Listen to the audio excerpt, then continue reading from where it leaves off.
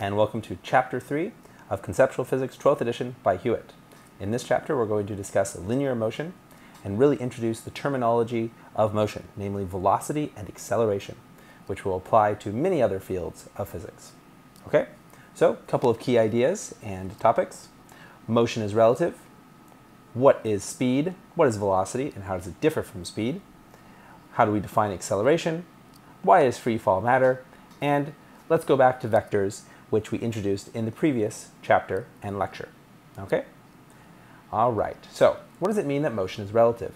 Well, the motion of objects is always described as relative to something else. There's no such thing as absolute motion. For example, you walk on the road relative to Earth, but Earth is moving relative to the sun. So if you have one speed, I mentioned speed because we've seen um, that idea a bit more than velocity so far. So if you have one speed relative to the road, say two miles per hour or three miles per hour, you have a very different speed relative to the sun, thousands of miles per hour, right? So your motion relative to the sun is different from your motion relative to Earth, right? Quite different. So then we have we would have a motion relative to the center of the galaxy, a motion relative to other galaxies. If we're thinking very big picture, there's just no such thing as absolute motion. And of course, the key idea of that is because this space itself, in fact, space-time itself is expanding. There's nothing at rest in this entire universe that we know of. Okay, so big ideas aside, let's get down to the nitty-gritty. What is speed? Okay, so the actual definition of speed is that it is defined as a distance covered per amount of travel time. Okay, so it's distance per time, simply that. The units are meters per second. What those often look like, parenthetically, are m over s, just like that. In equation form, it is speed is just distance over time. Notice it is distance over time, okay? So distance is your how, how much you've changed total, right? So if I walk five feet in front of me or five meters in front of me, and then I walk five meters back the other way, my distance would be 10 meters, okay? Because even, even though I maybe ended up where I started, because I walked five meters forward and then five meters back, I still have a non-zero distance, right? That's a key attribute of what we in physics define as distance. Time is just time, right? Measured in seconds.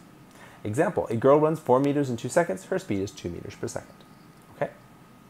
All right. So, what is average speed?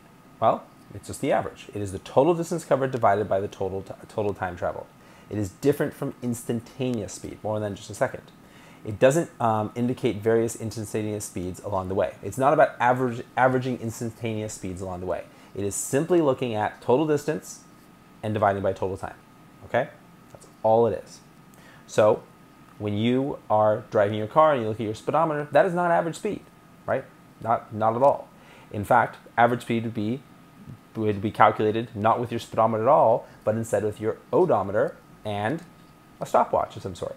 Because then you know exactly how, how much distance has been covered and you know how long it took. And that'll give you your average speed. You have to calculate it, okay? But your instantaneous speed is given by your speedometer, okay? And we have an example here you can take a look at. All right, let's do a check. All right, so the average speed of driving 30 kilometers in one hour is the same as the average speed of driving, okay? You just might have to make sure the total distance over time gives you the same numerical answer. Okay, pause the video and make sure you can do it.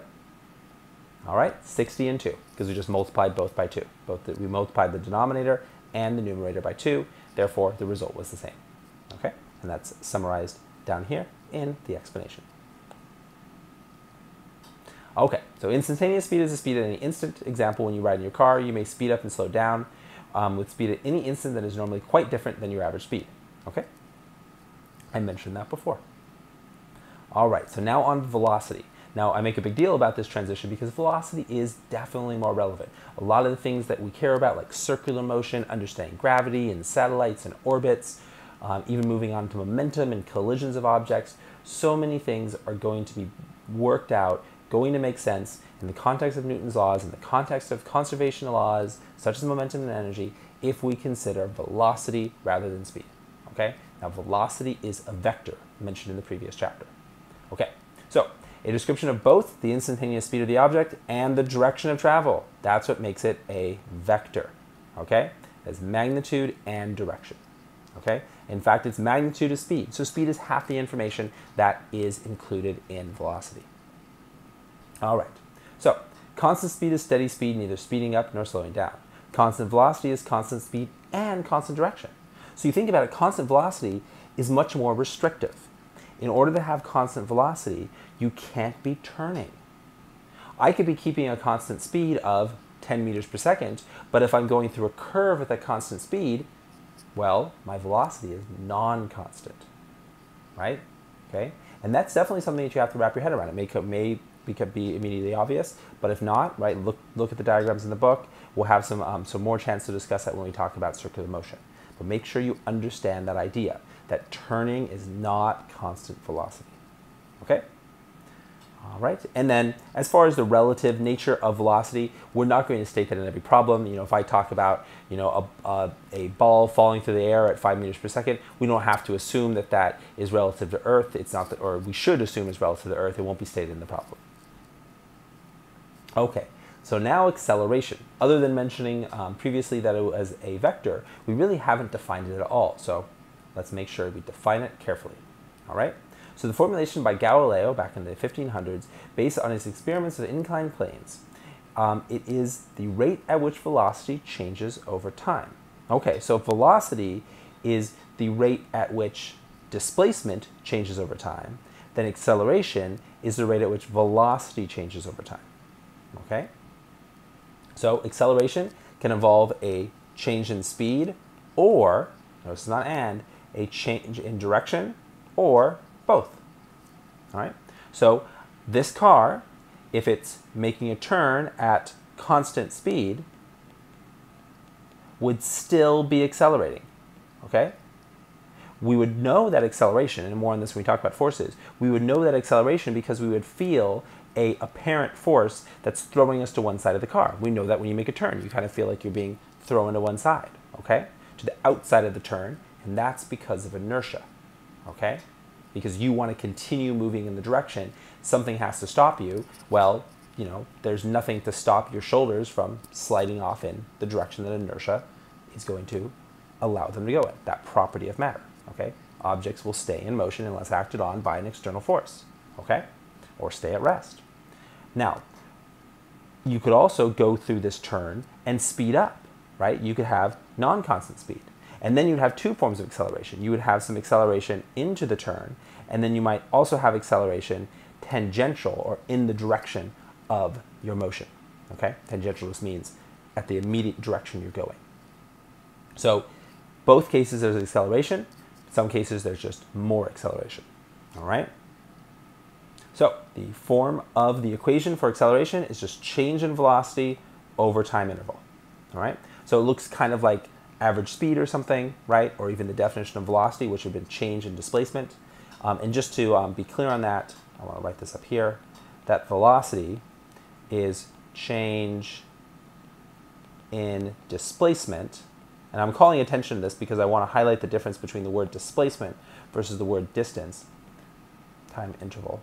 And this would all be an average if there's some time interval. If your time interval is not incredibly small, then it's really not instantaneous, is it? Or even an approximation of instantaneous. It's an average, right? Averaging over that time interval. But that word displacement right here, that refers to your final location um, minus your initial location.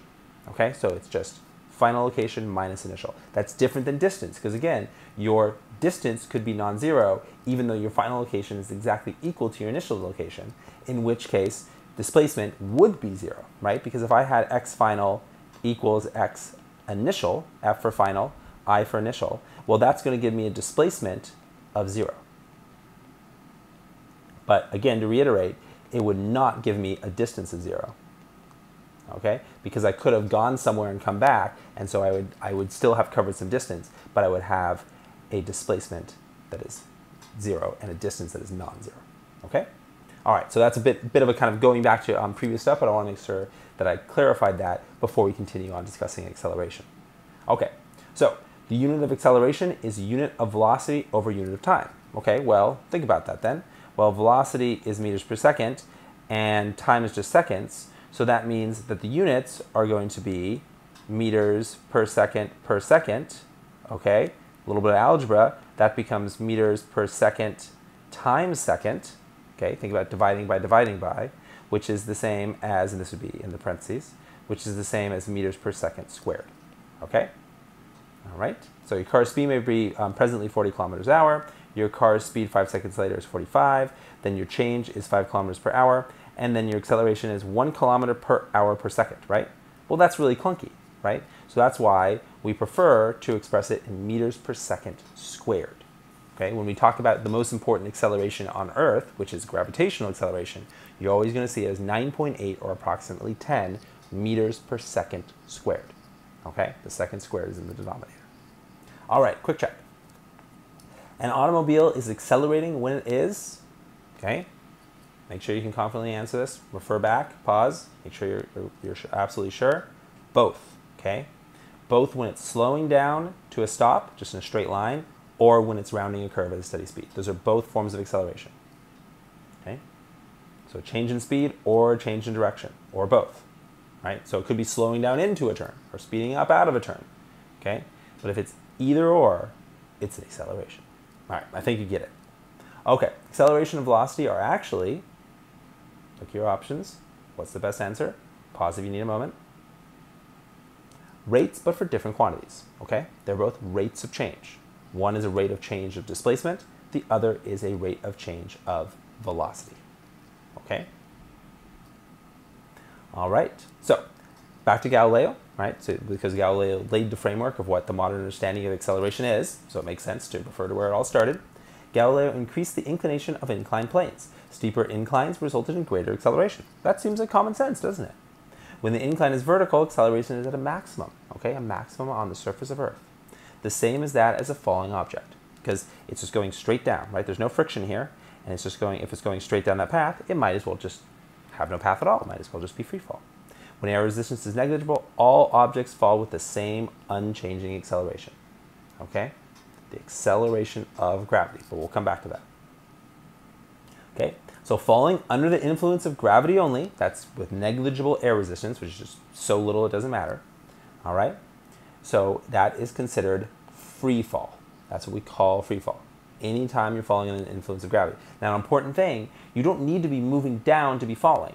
If I throw an object up, right, if I take an object in my hand right now, maybe you have something nearby, grab something, give it a toss up in the air, from the moment it leaves your hand, it's falling, right? Because look, it is under the influence of gravity only.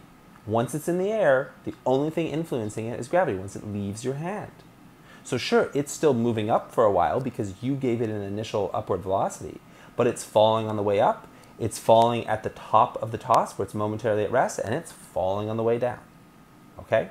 So the entire time it's in free fall, it just happens to have some leftover initial velocity moving up for the first moment. Okay? So freely falling objects on Earth accelerate at a rate of 10 meters per second, second, right? 10 meters per second, second. 10 meters per second squared. That's again, that's the way we tend to use the unit. More precisely, 9.8. Okay? So definitely you want to, unless specified otherwise, use 9.8, right? Unless I tell you to round, use 9.8. All right, so the velocity acquired by an object starting from rest is velocity equals acceleration times time. Okay? Now, why does that work? Well, think about it, right? Think about the definition of acceleration. So velocity we were told that acceleration by definition is change in velocity, which is has the same units as velocity over time. So then if I multiply by time, well, look what happens. The time in the denominator of the definition of velocity, right? Because this is just acceleration, this part right here. That's just acceleration. Well, that time from the definition cancels with the time that we're multiplying by. So we just get back to a velocity.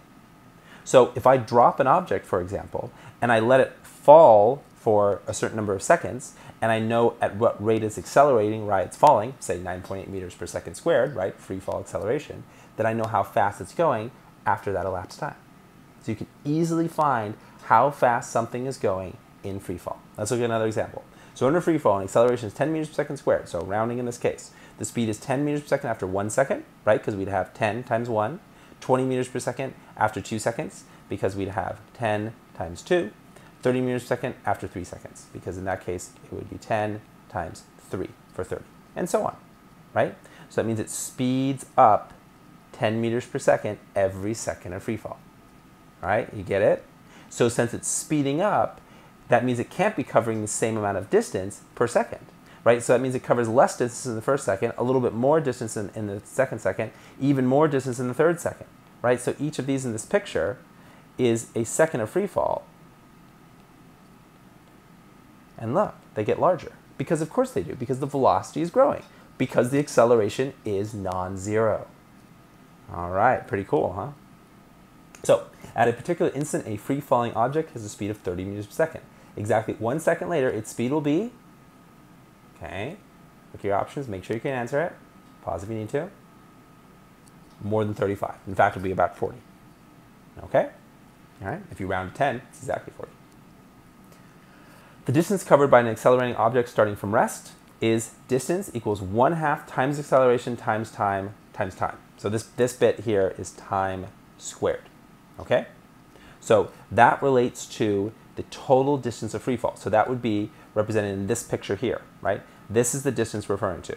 This is our d, right? So if I want to find out how much vertical distance has been covered by an object that was dropped from rest off the edge of a cliff, for example, then I would use that formula, okay? And so what it could look like in equation form would be 1 half times a for acceleration times time squared, okay? And in words, it's like in the blue box. Under free fall, when acceleration is 10 meters per second squared, the, um, the reversible arrow, 5 um, meters per second after 1 second, the um, 20 meters per second after 2 seconds, and 45 meters after 3 seconds, and so on, okay? So what you have there is you have a growth that is non-steady. You only cover five meters in that first second, you know, four times as much in the second second, and then, you know, seven times as much, um, excuse me, nine times as much in that third second. All right, so significant, you know, you're, you're covering a lot more ground as you fall. All right. Now in the real world, you reach terminal velocity, which we'll discuss briefly, at least on Earth, right? Um, so you some rate at some point you stop accelerating, but in a vacuum or a planet with very little atmosphere, then you just continue to accelerate. All right. So what is the distance fallen after four seconds for a freely falling object starting from rest? Use the equation. Use the d equals 1 half times a times t squared. Okay, make sure you can put in your calculator and get that answer. All right, everybody do that one? Yep, 80 meters. Okay, cool. Right, there's the, there's the work right there. Okay, so a little bit more about velocity vectors. So we introduced the idea of vectors using the Pythagorean theorem talked about how that might apply to something like forces. And we'll actually get back to doing more concrete examples of forces, but let's let's do one right now, right? Let's make sure we can use the Pythagorean theorem with a vector that is not pointing at a, on a straight line, okay? So here we have a 60 kilometer per hour crosswind, right? So that is a velocity, and it um, blows the 80 kilometer per hour airplane off course at 100 kilometers per hour. If the crosswind were 80 kilometers per hour, the airplane would travel at 130, 113 kilometers per hour at an angle of what? Okay? So again, you don't have to do the angle, you just have to think about what's going on. I'm not asking you to exactly, you know, do the trig function here. You just have to estimate based on the Pythagorean theorem and right triangles. Okay? So let's take a look at this. So we have the 60 kilometer crosswind, so that's right here. That's the crosswind, right, blowing in towards the west. Okay? The 80 kilometers is the speed of the plane. That would be the speed of the plane relative to the wind. Okay? And so then the result is 100 kilometers per hour. Okay? If the crosswind were 80 kilometers per hour, the plane, the plane would travel at 113 kilometers per hour. Okay? So we'd have, we'd have a greater, you know, a, basically, what would be happening then, right? Well, let's think, right? That means that this, this value becomes 80 that has lengthened this vector, the thicker blue vector, so it's now it's like longer and over here, and has made this angle smaller, right? The right triangle has got more stretched out in the horizontal, right? So the angle has become less, okay? Now the angle wasn't 45 to begin with, was it, right? So let's, but let's think, right? Initially the angle was what? Was it greater than or equal to 45? Well, it was greater than 45, right? Because before the triangle was, was such a way, ah, excuse me. Sorry, I accidentally showed you the, um, the solution there. My bad. The before the angle was like this, and it was greater than 45, right? Because these, the sides of the triangle were not equal to each other. 80 was larger than 60. So the triangle was elongated in the vertical. But when we make the wind 80, thus making the hypotenuse 113, which we don't really need that value. Well, now both sides of the triangle actually are equal. So that means the angle now is exactly 45 degrees, since I already showed you the solution. Okay? So that's the idea there. That's the idea of right triangles, and you'll have more chance to practice it. Okay? All right, the parallelogram would then be a square. The parallelogram is this one here. Right? Here it's a rectangle, but if we make the wind 80, then all the sides are equal, thus it's a square. Okay? All right? And the angle that crosses that square from vertex to vertex is 45 degrees. Okay, you run horizontally at 4 meters per second in a vertically falling rain that falls at 4 meters per second. Relative to you, the raindrops are falling at an angle of what? Okay, think about the parallelogram, think about the velocities, how do they relate to each other? Okay, make sure this one makes sense to you. Right, everyone have an answer? Pause if you need to. It's 45 degrees again because both the velocities are the same, right? You're running at 4 meters per second. The rain is coming down at 4 meters per second. Those sides of the triangle are equal to each other. Thus, the rain relative to you is simply going to be the square root of 4 squared plus 4 squared meters per second, all right, which would be the square root of 32 meters per second. So whatever, whatever the square root of 32 meters per second is, if you plug that in your calculator as a decimal, is going to be the, um, the velocity. And in fact, here it is, 46, okay, or sorry, 5.6. I I said 46. And this right here is that 45 degree angle. Okay? That's the idea. That's what you need to know. Okay? And again, you don't need to calculate angles. You just need to relate them to whether it is, you know, equal sides or is it elongated one way or another. All right. That's it. We defined speed and velocity, we defined acceleration, and we got a little bit more practice of vectors, which we're going to see again in the very next lecture, which will be in, um, in the next video. Okay? Thank you so much for listening. I hope this has uh, been interesting and uh, we can continue into exploring physics.